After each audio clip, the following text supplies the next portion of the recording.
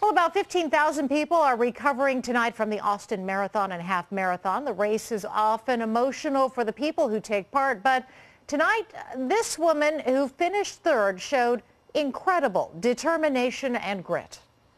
Only in the closing miles her body let her down, but she is going to make it.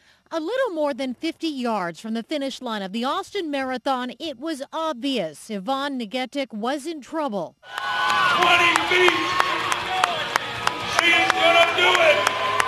The elite women's marathoner had been in the lead for most of the race, but somewhere between mile 23 and mile 26, her body gave out.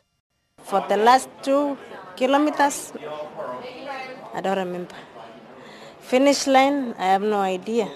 But Ngetich kept going. Race volunteers brought out a wheelchair, but Ngetich wasn't having it. She was going to cross the finish line.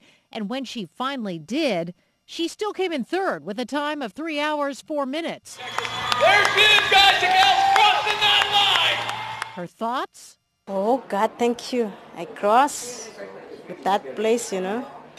And when race director John Conley finally caught up to Ngetich, another emotional moment. You ran the bravest race and crawled the bravest crawl I have ever seen in my life. Thank you. You have earned much honor. And as to why she didn't quit, Running always, you have to keep going, going. You need to die running, you know. Yeah, you got to keep running. The Austin Marathon decided to award Ngetich the same money she would have won if she had come in second. The winner, Cynthia Jerop of Kenya, won the women's race in 2 hours 54 minutes. And here's